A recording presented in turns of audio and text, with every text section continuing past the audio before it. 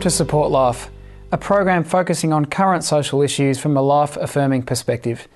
I'm Dominic Meese, and this week our guest is Geraldine Lee, a former nurse and now working with the theatre group Friends of Call of Guadalupe. Geraldine, thanks for coming on the show. Thanks for having me. I understand you were a former nurse. Can you give us some background in, into your nursing days? Yes, I worked as a nurse in a public hospital, and I initially started to um, be involved in the, um, I suppose, uh, counselling, you know, in a pregnancy counselling centre in East Melbourne. One of my friends' um, um father was Dr. Eric Seal, and he um, was um, like a, one of the pro-life supporters. And yeah, I got involved in pregnancy counselling way back in the 80s.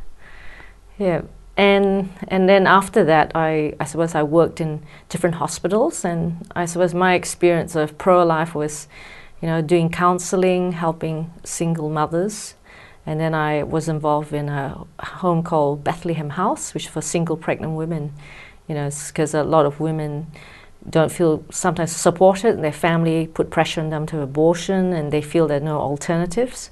So we offered them an alternative by having this house for single pregnant women.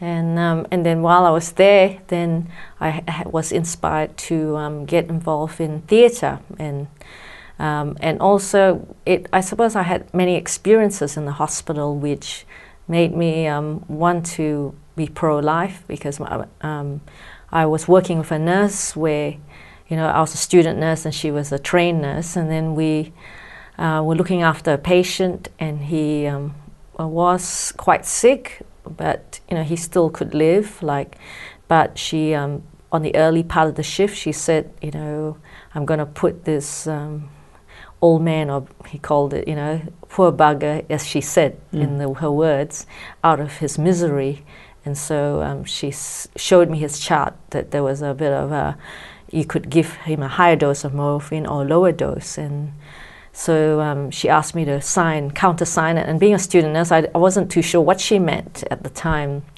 but I, I felt that there was something feeling weird about it. And and then when I looked concerned about signing, she said, "Don't worry, um, you know, y- when he dies, we will plan it so the morning shift will clean him up." And so I was like shocked. I, I just thought, wow anyway, he did die, and, and I was very sad. And I just thought, wow, was that was that something like passive euthanasia or active euthanasia? I don't know what it was because I was a student nurse then, but I just felt there was something quite. It felt wrong to me at the time, and but um, I was a student nurse and. And well, that would be quite shocking, is it? You know, yes. As a student nurse, you would have only just started. Yes. Moving on from a student nurse, did you come across any other situations similar to that? Um, I say, okay, when I was a nurse, I also worked as a midwife and, and I was on agency and I was sent to a hospital where, um, well, I thought it was, you know, a recovery room for um, ear, nose and throat and tonsillitis. So I was okay with that because I was, you know, a bit concerned not to go to abortion clinics. But um, I found myself in a recovery room and they asked me to wheel out this patient and I looked at her chart and it put TOP which means termination of pregnancy. So I was a bit shocked because I'm kind of quite an adamant pro-lifer. And um, and so that was that was kind of sad because when I looked through the chart of one of the ladies she had a stillbirth. And and I said oh you know I just asked her how come you had an abortion you know because you're married and and it seems like you want to have children. And then she started saying to me oh she didn't really want to have the abortion but she was so scared she would that her baby would die because she had a stillbirth. And I spoke to the other nurses and they said that she should have had counseling you know mm. before the abortion. And it sort of dawned on me you know about the importance of counseling before you have an abortion. And then I and then I looked after another lady in that recovery room and she had had an abortion and she was crying and she said, I really wanted this baby, you know. And my husband said that if I didn't keep it, I would, uh, he would leave me. And, and the nurses were saying to me, oh, she should have had counseling. And they were, they were giving her, him, her lots of pethidine to calm the pain. And they said, oh, it's not pain, it's emotional pain that she was experiencing. Mm. That's what the nurses were saying to me that I was working with. Yeah. So it's yeah, that's that's really interesting because there is a. It seems to me that in our society there's a very. It, seems that abortion is a quick fix and it's a solution to a problem. But from what you're saying, Geraldine, there may be a lack of counselling that, and it isn't really a solution to a problem. These women are going through yes. whatever emotional state post-abortion, and they need that counselling and they need that that help. Um, and that that lady's a classic example by the sounds of it. So yes, um, it, it's interesting that it, it doesn't always lead to a solution. Yeah, and I can remember when I was working at Bethlehem House, when uh, you know, uh, with the single pregnant girls, you know, there was um, some girls who had friends who were in situations where they were going to have an abortion, and and the receptionist she was telling us, you know, was saying, oh, to the girl, you know, have you thought of having counselling, or have you thought of keeping this baby? Because you know she was in, uh, you know, she was quite pregnant. I think she was about 28 weeks, and and the woman said, you know, at the reception said, you know, I know someone, if you want to have this baby, who can actually support you. And that's when she got in, chat, in touch with Bethlehem House. And, and uh, she had the baby and adopted the baby out.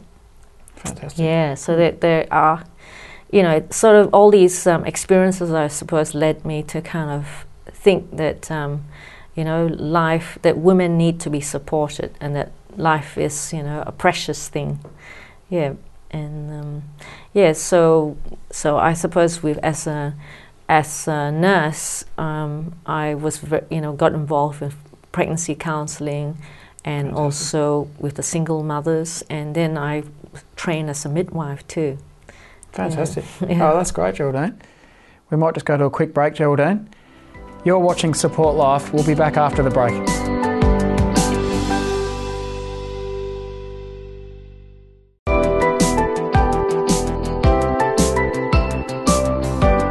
Welcome back to Support Life. I'm Dominic Meese and our guest is Geraldine Lee. Geraldine, you were saying earlier as a nurse that you came across some situations where people may have been considered as commodities rather than really seeing that dignity of life. Can you explain a bit about that?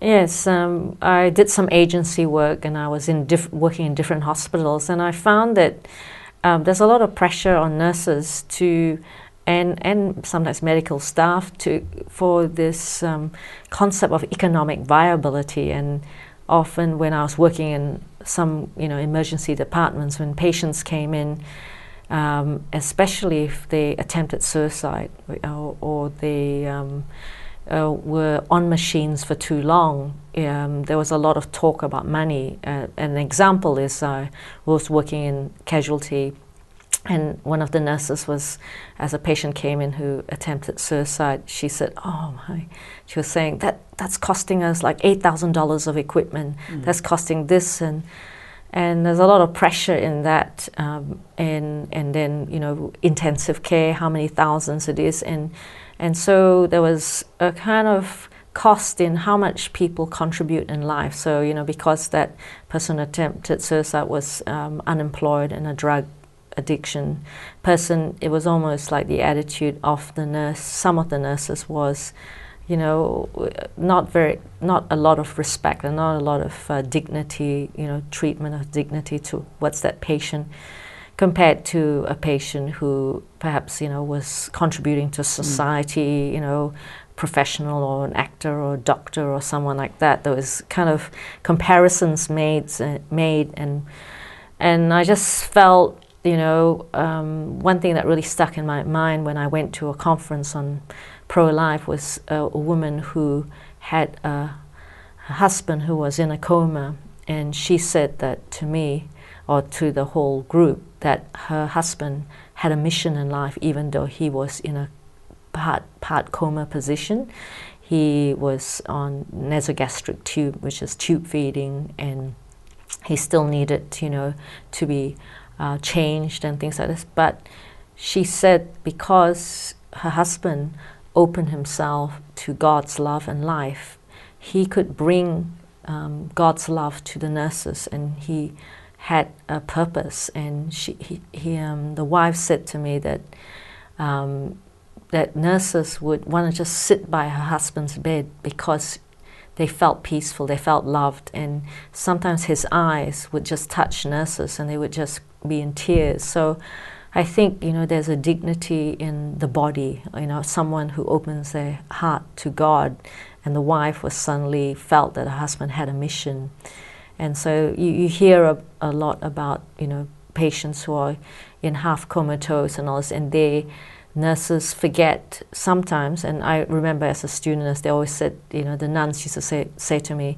you know, the last thing to go is the hearing, and the dignity of the life is to treat every patient, whether they're comatose or whatever, with lots of love. And when you're moving them, just to speak to them in love, you know. And, and I, I, I don't blame nurses and other people for because we live in a society where they think they can separate the body and the human, the spirit and the emotions. They think because the person's a vegetable, then they're not feeling, thinking, you know, and experiencing in a spiritual sense. And uh, that's interesting it's interesting you say that because to me there seems to be a direct contradiction there where a nurse or a doctor will be in another room, say, looking after someone and trying their very best to keep that person alive and, and doing everything they can, which is their role, to preserve, to preserve life. Yet you're telling us there's, you know, there's situations where you know, someone might be in a coma and they think less of that person or don't think of them as a person. So it's, to me, there's a bit of a contradiction there and it's, and it's sad. And that story of that man who who was touching nurses even though he was comatose. That's that's beautiful. It's fantastic. So. Yes, yeah. I think our society is very much into I want, and rather mm. than seeing that when problems occur, that you can you can see the gift in it. You know, whatever situation, it, it's mm. hard though. Mm. Geraldine, tell us a little bit about your. Well, you've moved, moved on from your nursing days and you're into theatre now. So, give us a bit of background as to what you do now in theatre and, and performing arts. Yes. Yes, I'm involved in a couple of theatre groups, and one is a community theatre group, and one is a theatre that promotes the culture of life and and hope. And um, with that theatre group, we we um, put on musicals that um, are pro-life, and one of our musicals called Call of Guadalupe, it is about a family who are contemplating abortion, and they decide to keep their baby through the intercession of Our Lady of Guadalupe, and also through just different things that happen where um, people go through suffering in the different characters, and they call out to the community, to God, and in that calling out, then they find a gift in their suffering, which I mean is sometimes hard for people to understand because uh, I have a brother and two sisters who are disabled, and and they, you know, and I suppose, you know, a lot of people who have the disease um, actually. Um, their mothers abort them because now there's a, a, test they can do to diagnose spinal muscular atrophy, like when the baby is in uh, utero. And so, you know, when I was a nurse, there was a lot of pressure. If you had that test, you, you know, the staff had this um, because it was expensive that test that you were going to abort if you find out that your baby's disabled. Mm.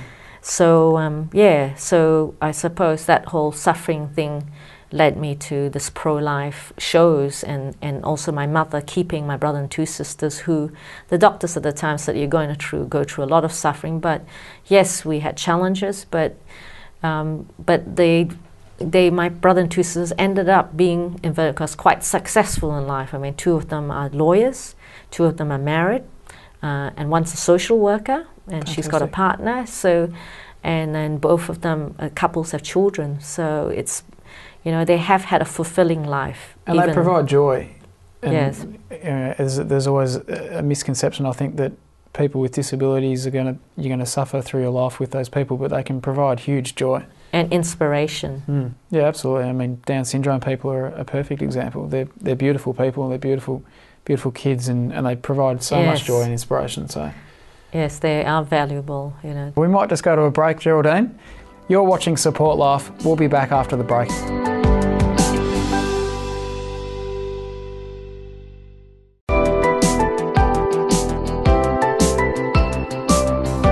Welcome back to Support Life. I'm Dominic Meese and our guest is Geraldine Lee. Geraldine, you were saying before the break you were talking about people with disabilities. Do you come across people with disabilities in your theatre work? Yes, we actually uh, promote the fact that we are inclusive and we have people with disabilities. And one of the theatre groups I'm involved in is Amusabilities, which um, where we really encourage people with disabilities to be involved in, and um, also with our Friends of Cog Theatre Group, we also promote that. So it's um, wonderful to have people with disabilities, and, and we make it possible. So we um, have um, facilities that where it's disabled friendly, and um, we also um, me being a nurse, if I can support them in some way to pick them up, or you know, and and uh, you know, some of them may, may need things like you know going to the toilet with disabled disabled toilets. So we we do you know, and that's all about my I suppose my aim you know is to promote the that everyone is valuable, you yeah. know, whether they're disabled, whether they're depressed, whether they're elderly, you know, and I think that's um, one of the things that we do in our theatre group is we also put on um, um, during Christmas we put on Christmas carols and we spend time with the elderly because I think um, when I was working um, in a hospital at a certain time um, some of the people who went to the hospital, like they felt that when they're getting old, and they did, they always kept saying, "I'm a burden to my family." You know, some of them would say, "Give me a pill," you know, and I think, uh, you know, I think to some extent it's the responsibility of the family to to make their relatives feel uh, special and precious because we are in a society that tends to glorify youth. You know, because in inverted commas, I think there is a from my opinion, I suppose, a bit of a vested interest because um, youth have the most disposable income, and if they can glorify youth, and if the if the old people are trying to be youth and the children are trying to be youth, they've got a good big market, you know. But uh, that's the stuff I've learned in in different universities I've been to. well, it's fantastic that you include everyone, and, and you know, yeah, that everyone's so valuable. Di- disabled people, depressed people, yeah, and we have people. elderly people elderly in people our in our theatre group too. Fantastic. So we try to also include um, elderly people because sometimes they say, "Oh, you know, the theatre mustn't be for me. I'm too old." I said, "No, no, no. We would, would really like to have you actually, and we would like you to be included um, into the theatre." So. And I think the, the theatre becomes very rich when you, because the enthusiasm, the spirit of the people, and I know when people come and see our shows, they often say they just feel touched by God, touched by love, touched by just the spirit of unity and community. Fantastic. Yes. And in terms of your theatre work, do you have any future prospects or future projects that you're planning? Um, yes, I'm, I'm hoping to bring a house together where where young um, adults and p- other people want to um, serve God and want to serve pro life and want to be involved in our projects like the musical or the Christmas carols or visiting uh, people with disabilities or visiting uh, young people that are threatened by suicide because I think you know people get marginalized even youth who feel they can't you know have the right labels the right clothes the right employment. So they think, inverted commas, you know, as the society says that you have to have this to. I suppose through the media, sometimes we get this picture that you know that you, you need to have this to be valuable. Like they you know they might put a, a big watch and then they have this woman next to the watch. You know all those sort of. Yeah. Uh, kind of subtle messages that you need to own this big car to be fulfilled. You know, those are the. So I suppose we, we want to, you know, do these um, and these, I suppose, projects. And the other project is we want to run a musical that's coming up soon, and we're looking for people who want to act, sing, dance, and, and help backstage. So we need people and committee members, administrators, um, organizers. We want everyone. Everyone has a place in our our, our theatre group because we're very you know, promoting the culture of life and hope that everyone is valuable and very precious. Fantastic. So, how do people get involved? Um, well, they can um, contact me either through Facebook, Facebook, like um, our theatre group is called Friends of um, Call of Guadalupe Theatre Group, or our website, which is www.coglife.org www.coglife.org. So just so that they can, you know, know about our auditions and things like that. Yeah, and, and most important of all is um, we also want to um, yeah bring that message to people um, of all ages that their life is very valuable. And um, yeah, I hope that, you know, and especially now with people losing jobs, a lot of people, that can be quite challenging to for people to feel valuable. That mm. so I suppose my message, my personal message, that no matter whether you have a good job or you got good labels or whether you're you know, university trained or not trained at all, you're valuable and I hope that everyone can be treated, you know, with that dignity of life and you know, and human beings we make our mistakes, but you know, we're all loved. Fantastic. So, do you have any other last minute piece of, pieces of advice to people that work in theatre? Um, well, in theatre, I think um, pe- people in theatre have a unique because entertainment is very are very powerful. Everyone's on YouTube, mm. social media, and putting you know everyone's a journalist on fa- Facebook.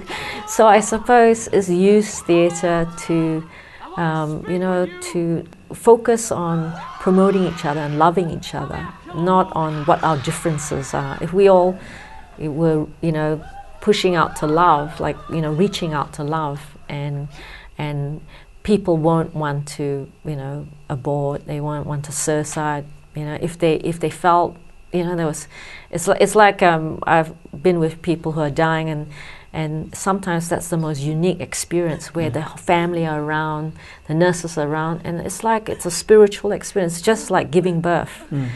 being a midwife. fantastic. Well, you got a fantastic message, Geraldine. Geraldine, I wish you all the best in the future. Thanks for coming on the show. Thanks for this opportunity. And all the best in the future with your theatre work. Thank you. You have been watching Support Life. Join us again next week. Goodbye.